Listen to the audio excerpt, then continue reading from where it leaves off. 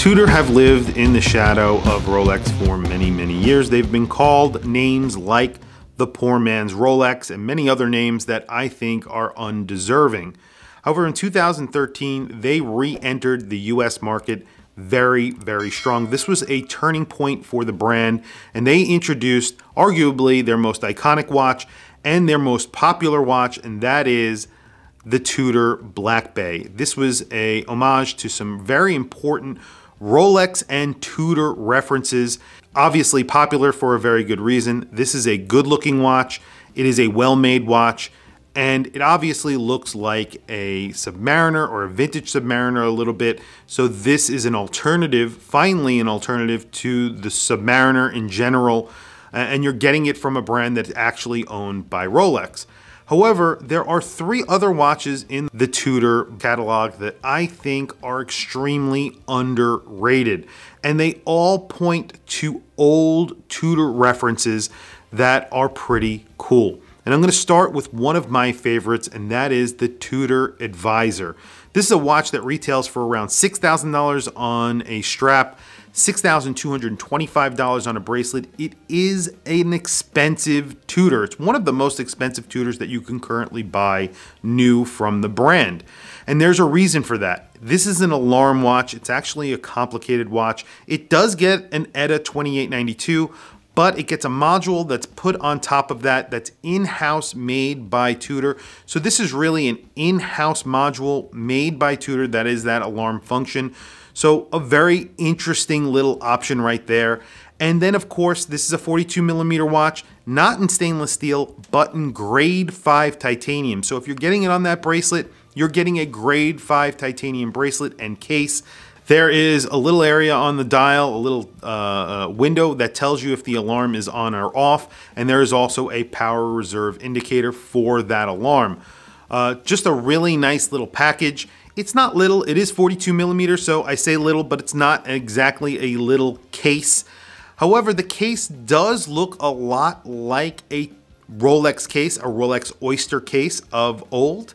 Uh, and this is, as I mentioned, a, a reference back to or, or harkens back to a reference in the Tudor catalog. It was the Tudor Advisor. It's actually an alarm watch that was made by Tudor. These were very popular back in the day.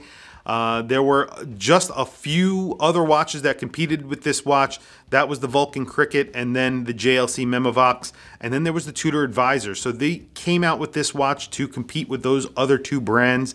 Uh, and obviously, they revisited this when they relaunched, and this is an amazing, amazing watch. It is one of their most expensive, as I mentioned. Good looking watch, and you can get it on a bracelet or a, uh, a strap. Either one is really good. Uh, I choose the cognac dial. This is sort of like a brown dial. Just a beautiful watch in general.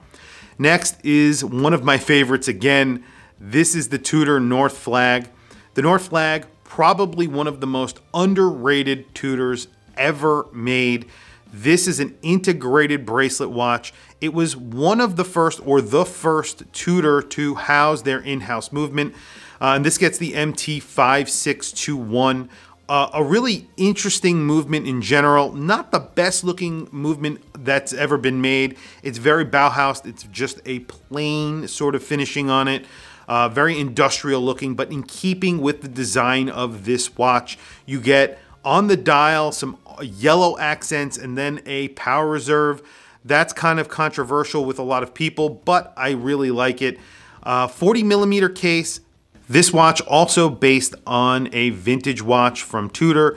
It's based on a vintage Tudor Ranger reference, a very obscure reference, which was an integrated bracelet.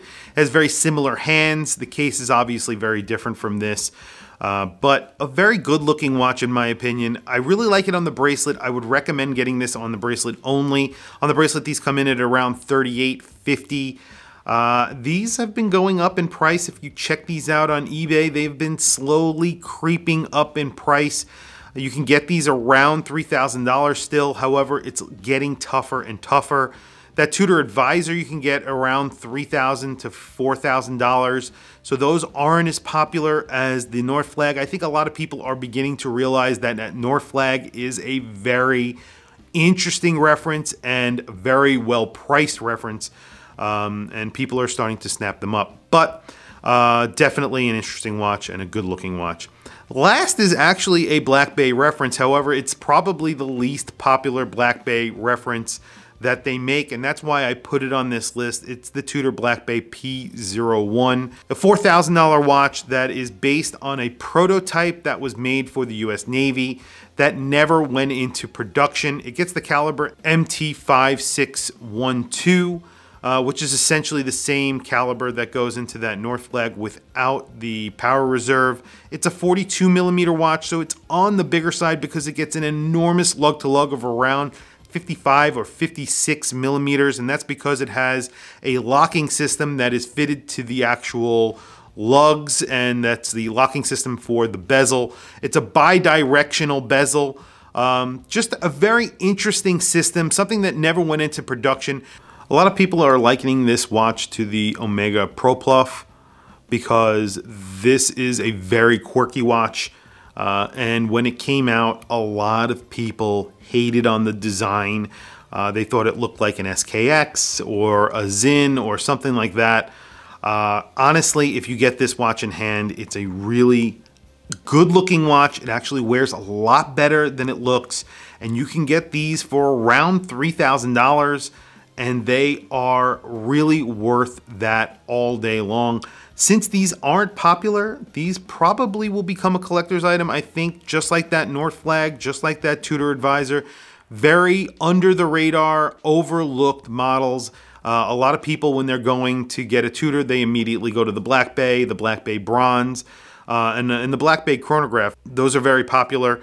I think these three watches are very overlooked, underrated references from a very popular brand.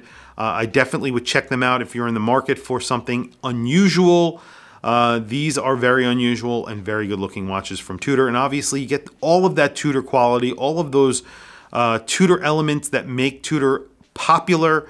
Uh, however, you get them at a discount and they are readily available. And some of these Black Bay references are very hard to get these days uh, and becoming harder and harder. And I think these will be really, really fun, easy watches to get. Uh, that will be very interesting. Anyway, tell me what you think in the comments below of my choices.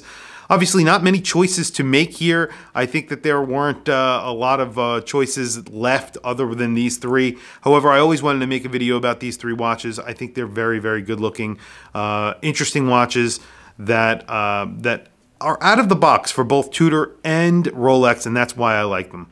Anyway, tell me what you think in the comments below. I want to hear from you guys. Please don't forget to like, subscribe, hit that bell icon. It's super helpful for the channel, and I very much appreciate it. Please follow me on Instagram. My Instagram is WatchChrisBlog.